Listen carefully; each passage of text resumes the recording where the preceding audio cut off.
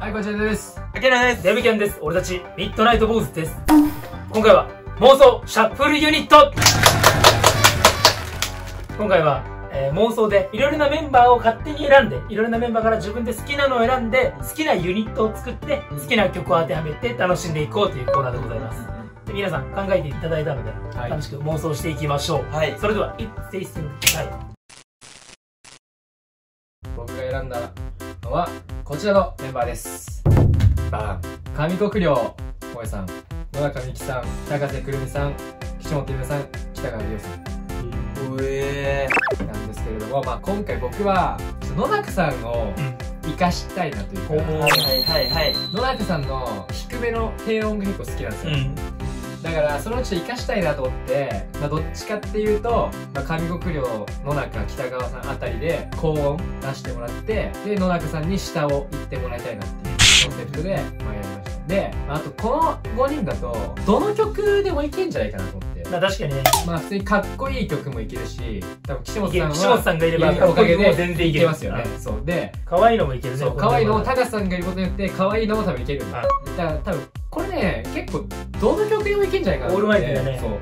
っていうのも結構見どころかなと思で、まあ、このね、まあ、上国領さんとか、まあ、岸本さん結構その各グループの歌姫というか、その歌うまい系のところ連れてきてそこに北川さんを入れることによってハロプロの、うん。としてのその厚みを。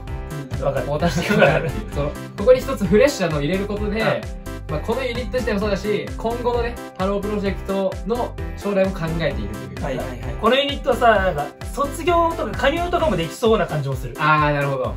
ユニットって、その場やって、もう終わりみたいなのが多いけど、これなら長く続けられそうな気がする。ほどなるほど。確かに。他にも入れていけそう。そうなんですよ。っていうのでまあ僕はねこれ何を歌ってほしいかなと思った時に、どうしようかなと思ったんだけどまあ最近っといいかなと思ったのはここあえてのモーニングコーヒー原点に最初に帰るぞ。ほ結構モーニングコーヒー結構リズムも結構しっかりしてるっていうかタカタカタカタカっていう結構重力でしっかりしてるのとあと結構低め低音 B メロ A メロ B メロとか結構低音もあるからそこであの野中さん岸本さんあたり生きてくるかなで野中さんの持ち前のリズム感も生きてくるんじゃないかなとう。うん。いうことで、まあ、モーニングコーヒーモーニングコーヒー英語だしそう。イエスとかもねあるからそうそこにの英語も生きてくるあちょっと悩んだけど、まあ一回これでいこうかなと一旦これで。はいオッケー。僕の選んだポイントですじゃあ、アギロブ、お願いします。いきます。一人目。上国領萌さん。おー かぶったかぶっていやもう雄大の見てね、わ、やべえと思ってね、かぶっちゃったと思ったんだけど。で次。尾形梨沙さん。はいはいはいはいで、小野瑞穂さん。で、石田あゆみさんと宮本かりんさん。はいは締めて5人で曲は、えビヨンズで、え恋愛奉行です。おー、面白い。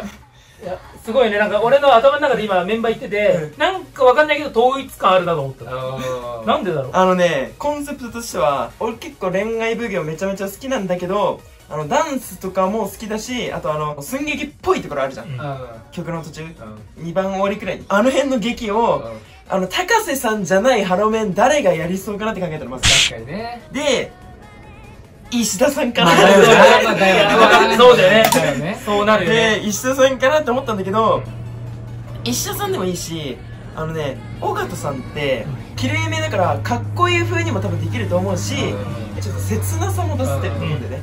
だから、神子とお水は、あの、笑顔枠です。あのね、やっぱ恋愛奉行とかビヨンズ曲は楽しくやってほしいから、うん笑顔でもうこれね、このダンスをやってほしい、こうやって。チャンさんと尾形さんとあいみんで、あの、なんつうのか、役を、その、回ごとに変えて、ほう回してやってほしいなと思ってはいはいはい面白い。多分できるのよ、どっちでも。うんそう。チャンさんが、あの、女の子っぽくするのもいいし、ちょっと堂々とお奉行さんみたいにするのも面白いし、うん確かにあーうんそうそうそう。ここの3人で回して、すごい楽しくやってほしいなって思いました。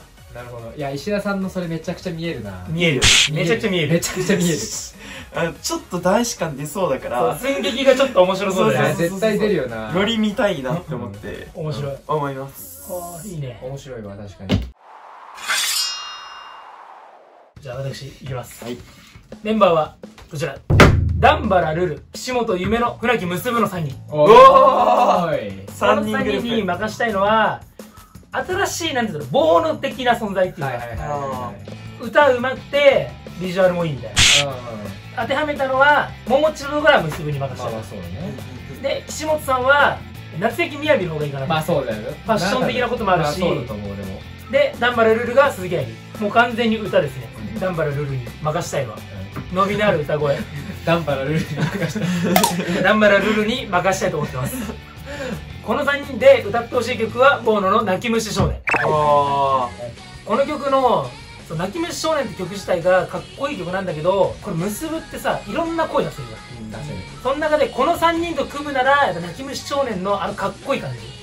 ももちもなんだろう泣き虫少年の声歌でももちってこんな声出せるんだみたいな声も多いわけ。でそこでやっぱ結ぶも同じような道をたどってほしいんですかそれ重なりそうだなちょっとな。ちょっと重なってやっぱうるっとくるじゃん。かくるももちと結ぶを重ねたところにこの結ぶと仲のいい2人。下さんは大阪で仲いい、うん。でルルと結ぶはめちゃくちゃ仲いいと。だからこの2人で結ぶを支えながらボーノと新生ボーノとしてうん。やってってほしいなと思って。いいね。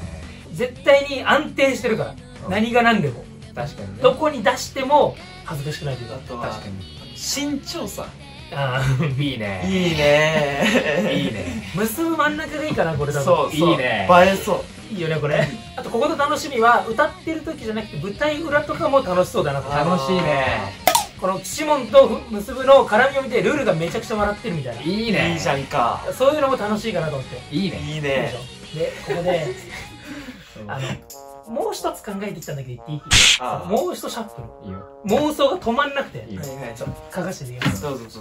いきます。そうこのどうしても言いたい、そう僕さっきかっこいい系って攻めたじゃんかどうしてもアイドルといえばこの可愛い系。稲葉さん森戸さん上国亮さん岡村みーみ北川リオ。強い。無敵すぎる。無敵。無敵。歌は好きちゃん。あ無敵あさっきとなんかさカラーが全然違うよ最初に考えたのはやっぱ結ぶところを使ってかっこいい系を言いたいなと思って本当は結ぶも入れてんだけど、そう全部いけんじゃん、うん。でちょっとあのその一旦ねでボーノの方に使ったんでちょっと今回はこっちで今回のポイントは岡村さんみなみうん。いいねめちゃくちゃ可愛いのよ。ピンクが似合う。そう。好きちゃんで足長いし、好きちゃんとスマイレージの曲が似合うんじゃないかなと思って。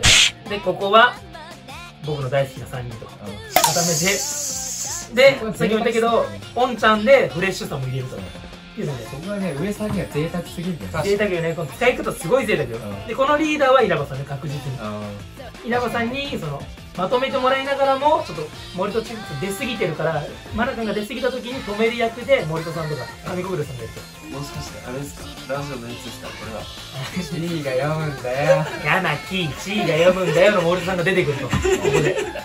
悪い悪いが読まないからでしょ？やってほしいな。でここのミーミとおんちゃんには自由に伸び伸びとやってもらいたい確かにあやってほしいなそう。でここは可愛い5人衆として。いいそこあ最強のユニットができましたね。おんちゃん嫉妬しそうだね。なんかみんな可愛いからさ。確かにここだとおんちゃんがおでもおんちゃんもおまけチャンネルで見た感じだと結構ガツガツいけるタイプだからいや強いよ家に行けるんじゃないかなと思ってここに入れました。うん持ってる。ねということで私の新生スマイレージみたいなものっていうのを作ってみました。じゃあ俺も一個いい？どうぞ。ちょびっといいこの3人生田横山小野田面白い。これ面白いでしょ。これ面白いでしょ。これ絶対面白いでしょ。これもうね別に歌わなくていい。これ これでいてほしい。このグループで。この3人で。この3人でなんかすれば絶対なんか生まれるから。トークショーでいいなんか生まれるから。別に歌わなくてもいい。トークショーめちゃくちゃ面白そうだそれ。これいいです面白い。司会どうする司司会。会いや司会がいないのよ。上場軍団に上場軍団に任せるバスツアーとか面白そうだよ。いや絶対面白いよこれ。あのボックスでななんかお題だけやっててほしいですねそう。そう。